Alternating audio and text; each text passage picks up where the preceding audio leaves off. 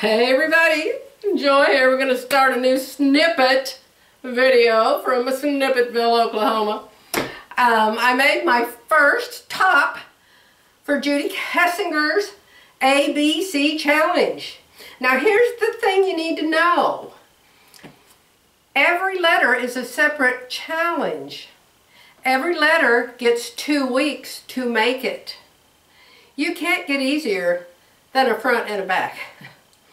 This is the Alicia. There was A's. Remember there was Alicia, Anna, and Amanda. Amanda's a jacket. And I'd like to try the jacket, but I would never wear it. I just never ever wear jackets. I wear hoodies and sweaters and um, cape kind of stuff. I just I just never wear jackets. Too fancy for me. I'm just too too much of a country clodhopper type girl. So I'm just not into jackets. I guess I could make a real casual one. You know, put wheat shards on it or chickens or goats or I don't need chickens or goats, but that's country. What else is country? My granny was country and my grandpa was country and my daddy grew up country. My mother grew up complete opposite. She grew up in Boston in a great big house with well-to-do grandparents. She lived near the ocean.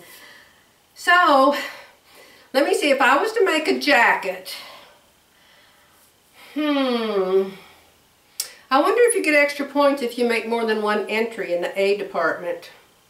I have no business making anything in any of the departments. I'm supposed to be getting ready to go on a trip in our RV, right? Yes, Joy, try to stay focused. I just can't resist an easy challenge. And I like Judy so much, and I like Fit Nice so much. So, what do you think? What do you think of my Valentine top? I think it is super cute. And not only that, Jerry and I were married February 1, 1975. So it can be my anniversary top. It can be my Valentine top. And you know where he took me? We got married February 1. And I think it was for Valentine's Day. I think it was. He took me to see. You won't believe who he took me to see. There was a place in Oklahoma City. It's on a street called Lincoln. And I doubt it's there anymore. It was way, way back when, and it's something I never, ever, ever did. But they had, like, famous people come there. And it was like a dinner famous people show. You know what I'm saying? I'm telling you, I'm a country girl. I don't know this stuff. but it was real fancy. And we went there and we sat at a table and they brought our dinner to us. And I guess everybody eats the same thing, you know, it, the dinner is kind of part of the deal. And so then when dinner was done, guess who? She was old as Methuselah, but she was still real pretty and she could dance. She could dance. Do you know who it was? You remember Fred Astaire? Oh my goodness, could that man dance? He was homely, wasn't he? But oh, who cared? He could dance. I always said, give me a man who can sing and who can dance. And I will be a happy girl. but Elvis was already had Priscilla. Hmm, Fred Astaire was too old. So I'd settle for Jerry. Jerry's a good dancer. and he probably could sing if he just would but he won't open his mouth. We're doing church on Sunday, and we'd always do the whole live service of church. Look at me, how many of me there are. so we always do the whole service, you know, singing and everything. And so Jerry will be in the chair, and I'll be in the other chair, and I'll be singing, you know, the top of my lungs. And Jerry's like, Jesus. I'm over here, Jesus loves me. and I'll go, why did you sing? Why did you sing? I'm singing joy. Isn't marriage a total complete blast? oh, I said, you got to sing in your car. When I'm not with you and you're in your truck, you got to sing in your truck. You got to sing when you're by yourself. And then you won't feel like you don't know how because you'll have all that practice, right? Okay, I love my Alicia top. I don't know if you like it or if you think it's goofy, but I love it. Love it. And you know what pattern it is? Is it the one I did my lounge gown with? I think it is. I think it's the one I just made that lounge gown out of. Dolman sleeve. Oh my goodness. I hope y'all will start trying to make these tops. You, you can't have too many. And look at how different it looks. Even though I have 50 of the tops that I've made, none of them look alike. Some of them you can look at them and say, oh, that's that same pattern. That's, that's, that's that Kim top she wears all the time. I probably made that six or seven times. I made the Joy top six or seven times. but the, you choose different fabrics and you choose different trims or different ways of cutting it up, putting it back together. Sewing is fun. It's so much fun. You just must do it. You just must do it. Now see, I didn't have to do darts in this one because I took it in on the sides. Remember in my last video two times ago, I think it was, I said instead of putting the darts in the front of that top, the next one I would remove the sides. Well, that's what I did. So see, now it's not, you know, way out here and super full. Wherever I got this fabric, this is not the best quality fabric in the world, but this one is. This one's from Peggy Sagers, and it's, oh, it's just a wonderful, soft, very high quality knit. This one's just El Cheapo Beepo, which is why it was probably on sale. but if I don't point it out to everybody, I guess nobody will know. All right, I have really got to get busy. Look at everything is just everywhere. And I have got to get organized. Where our schedule is very up in the air. Um, we're going around and around with that place down there. Jerry just found out that the girl lied to us, told us she did something and she didn't even do it at all. And Jerry emailed her and her boss. And I'm hoping that somebody figures out that they need to get either this person trained or they need to get this person replaced. I know how it is these days to own a business. I know how hard it is to get help. I can imagine that it's better to have bad help than no help at all. I know when we owned our business, it took years to learn our business. We were in the medical equipment business and we got paid by Medicare and Medicaid and insurance companies and you had to fill out forms from here to yonder. And here, fill out this form and you can have a cane. And so you fill out the form to get the cane and you think, oh yay, let's sell canes. And so you start selling canes, you get a letter. Guess what? We don't cover canes anymore. We had one for kids on nebulizers. And we figured out how to fill out all the forms for the nebulizers. All right, everybody get a nebulizer they write a letter, we're not going to pay for nebulizers anymore. So I, I can just imagine in the RV business, it's just as big a pain learning how to fill out all the forms, how to make everybody happy, how to do all the things. But the thing is, if you keep getting new employees all the time, sorry about that, afternoon lipstick's peeling off. If you keep getting new employees all the time, like the restaurant you go to, every time you go there, the people are new. And if everybody's always new, nobody's ever properly trained. We had people that worked for us for 10, 12, 15, 16 years. We had this adorable little girl. Everybody's a little girl when you're in your 70s, okay? Little girl, her name was Cody. And she had long, long, blonde, curly hair. Just wavy, not real curly, just wavy. Beautiful, thick, gorgeous hair. Almost red, but I think mostly blonde and she was just a little girl and she just had a baby and um, she had only had one job working at a hardware store and she took a job for us to clean the store, to clean it. And she would come in and we only needed somebody like one day a week and I think maybe she came two half days a week on her schedule or something. But everybody adored her and she got to know everybody. She was very nice to everybody and she would go to every other employee and say, is there anything I can do for you? Is there anything I can do for you? Is there anything I can do for you? She's the one that ended up working for us for 16 years or more. She was the absolute best customer service person in the whole wide world.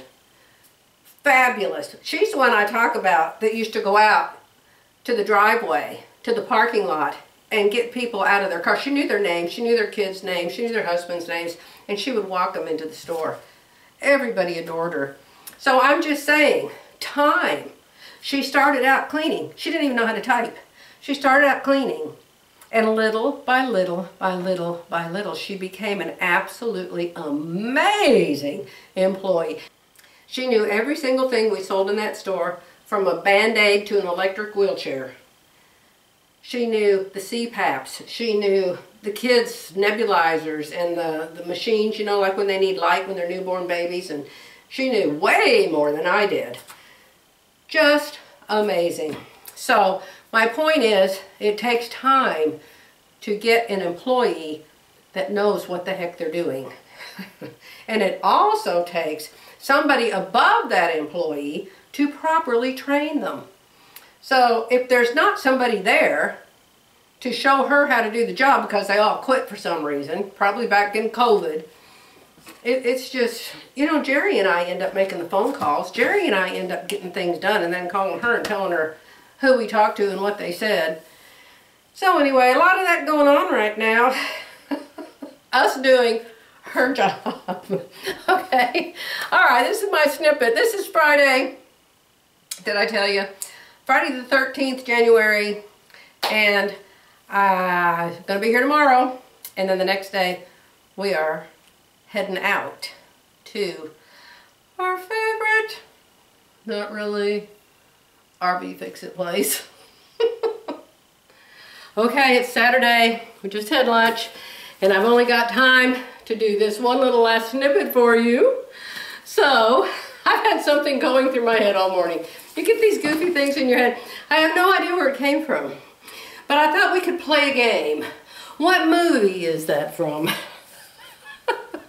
Did I watch the movie? No. Have I seen the movie? Yes, but 15 years ago.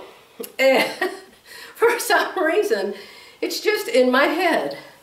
Okay? So, who said in what movie, how do you do? How do you do? how do you do? Huh? Does that remind you of anything? Let me see, what else can I say that was in that movie?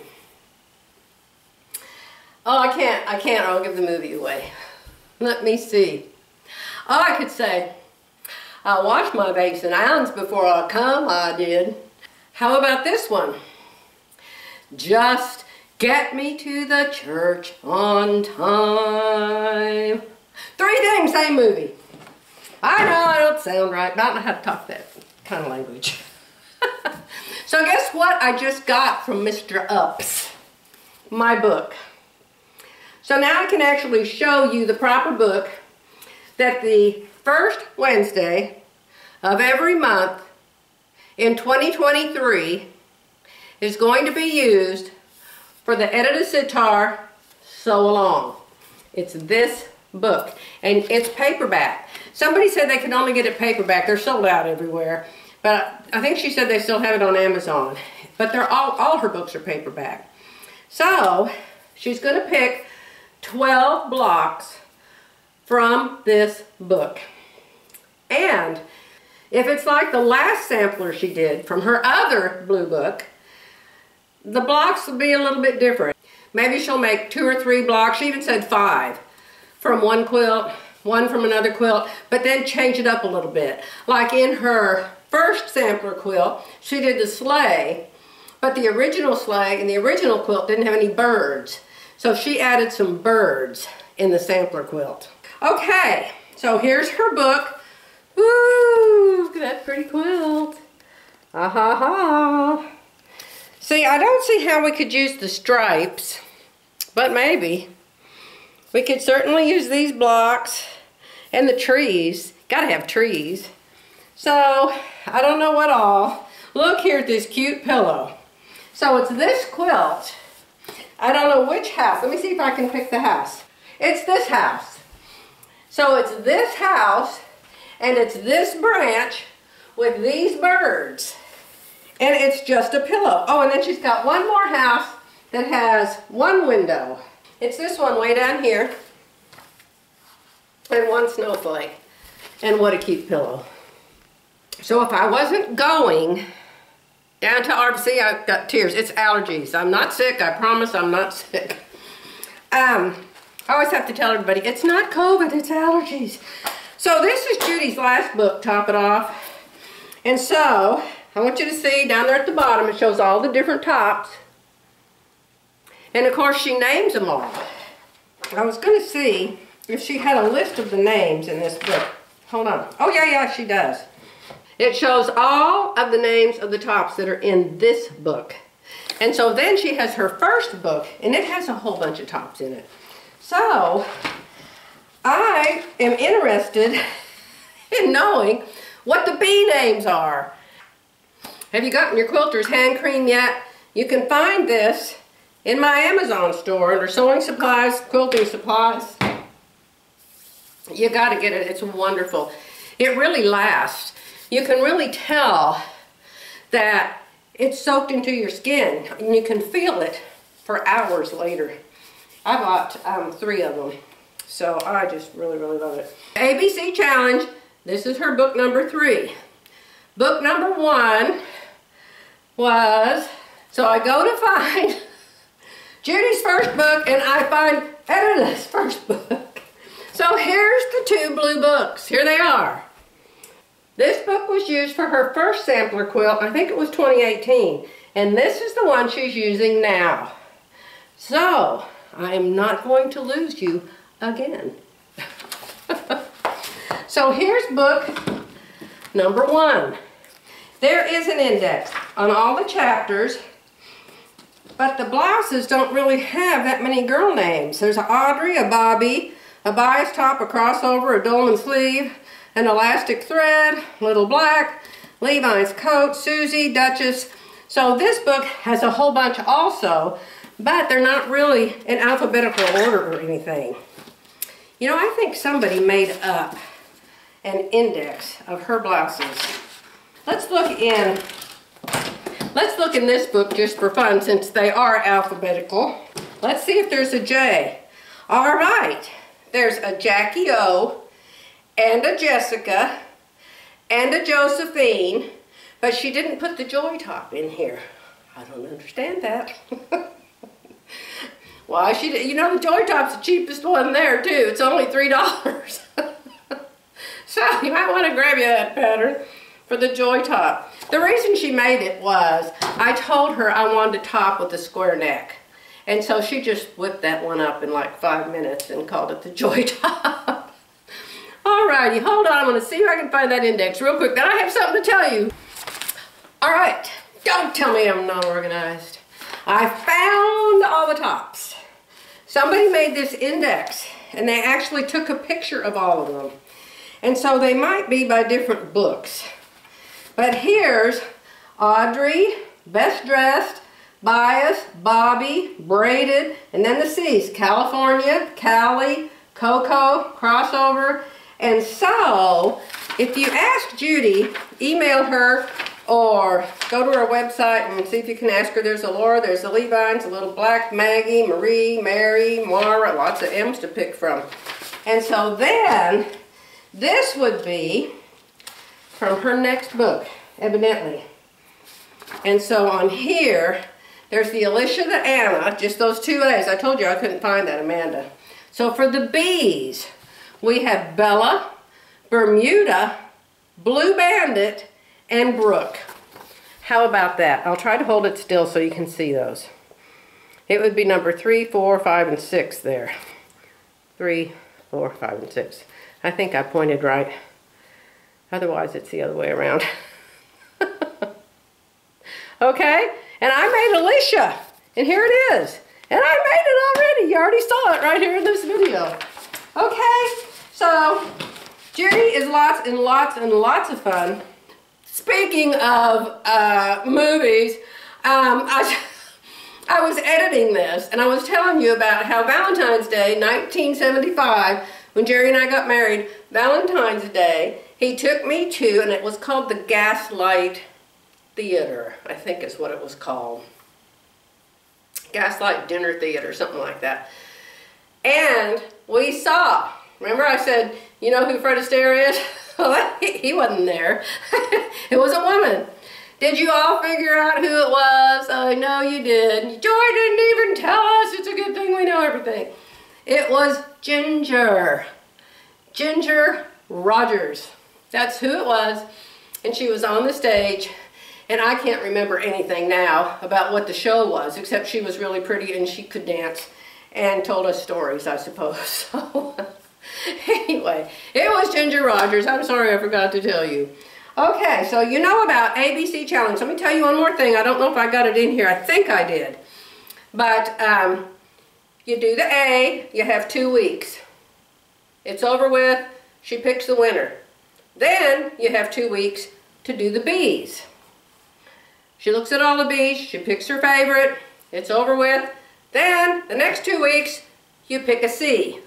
And the next two weeks, you pick a D. So it's how many alphabets? How many letters are in our alphabet? 26? I know I got the weeks wrong in a year. There's 52, not 53. but I think there's 26 letters in our alphabet.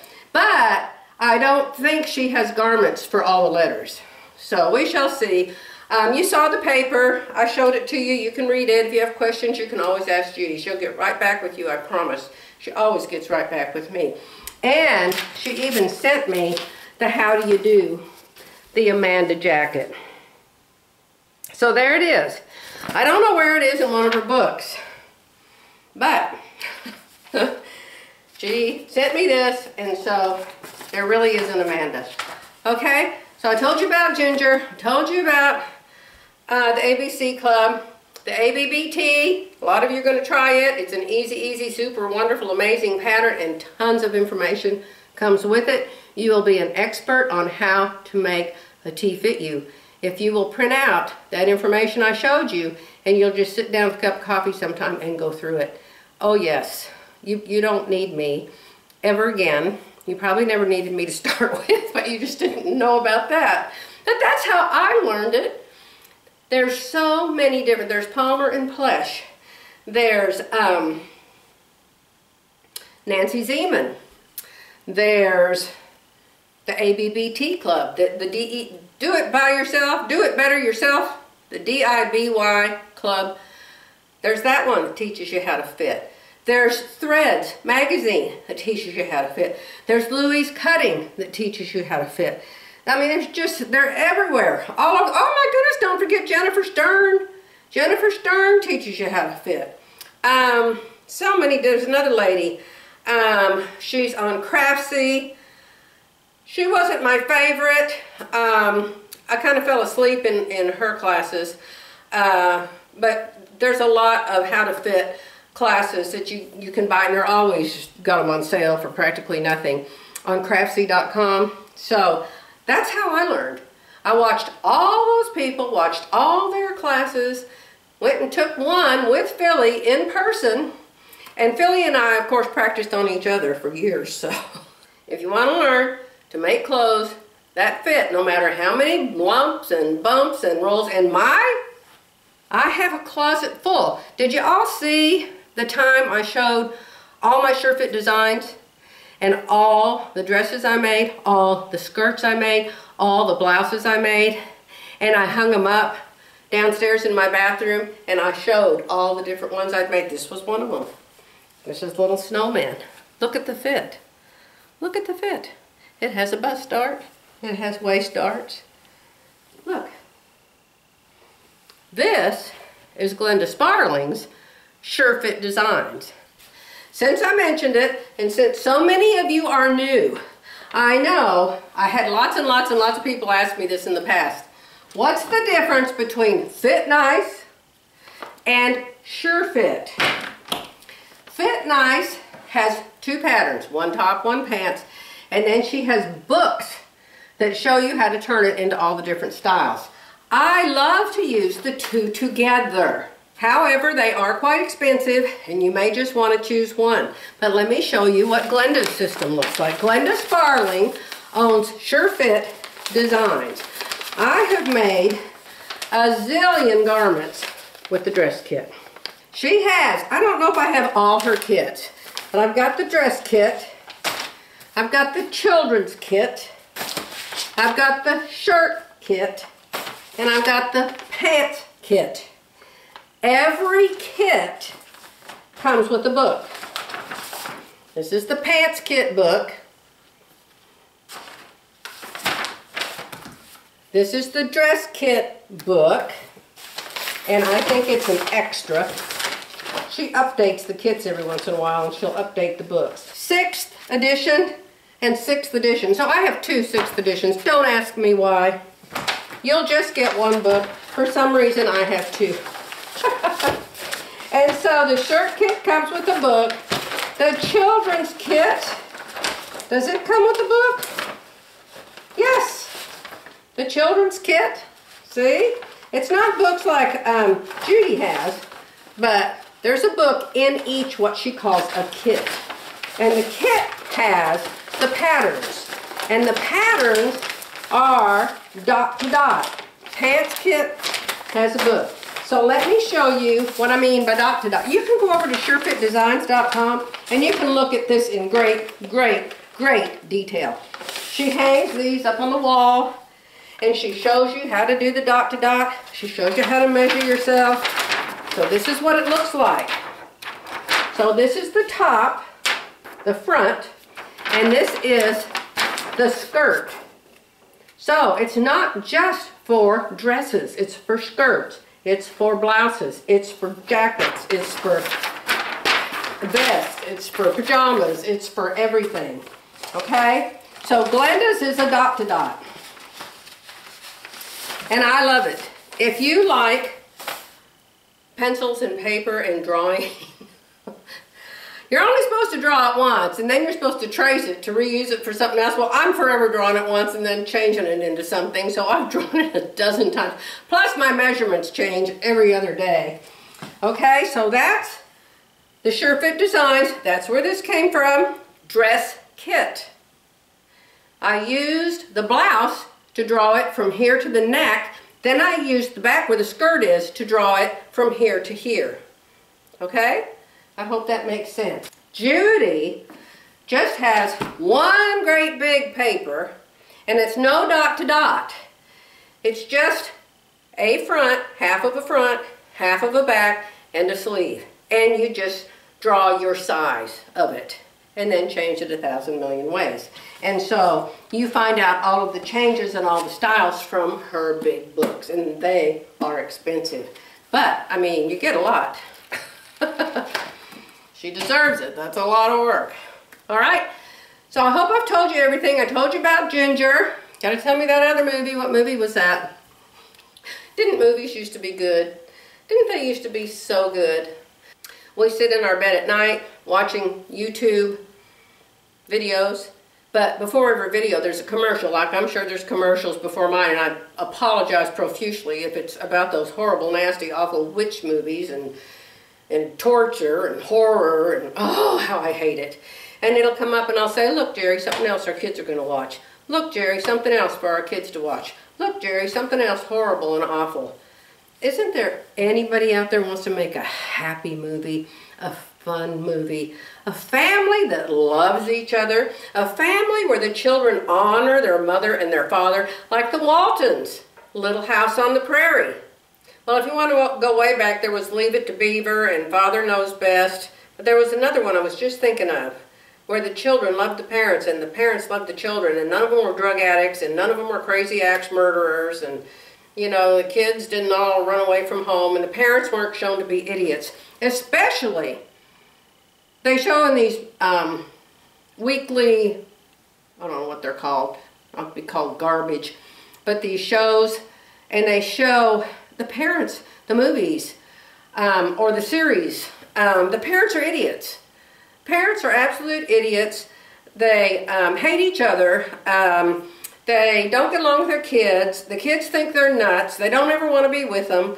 Um, it, it's just absolutely horrible. Horrible. And especially if they're Christians. So they're crazy, kooky, awful Christians. And they make church look like a, like a crazy, unorganized, non-Christian, ungodly, just mess. Not like church is at all. They just totally screw it up. And young people don't know they're watching lies.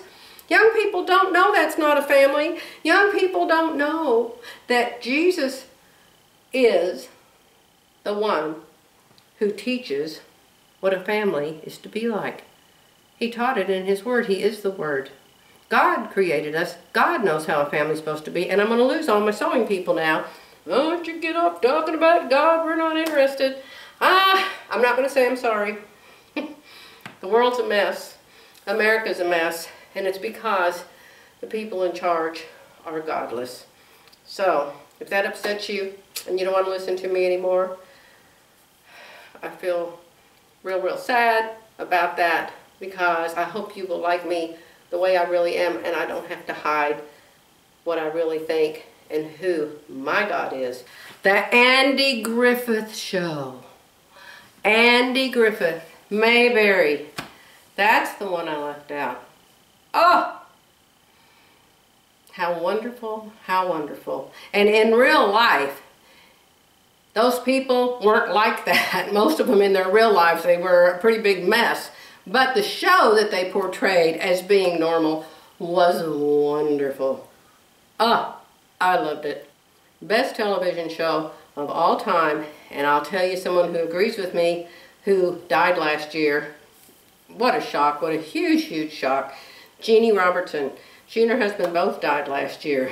But she was still working as if she was as healthy as could be. Still teaching, still doing videos, still going from state to state, doing her stage. Um, she didn't call herself a comedian. I can't think of what she called herself. But anyhow, she died just suddenly. She just died suddenly. Just and no, they never did say what she died of. But anyway, she always said on the stage in her talks that the Andy Griffith Show was the best show ever that has been on TV. All right? Just so you know, I'm going to let you go and end these snippets before I dig a deeper ditch than I'm already in. Bye for now.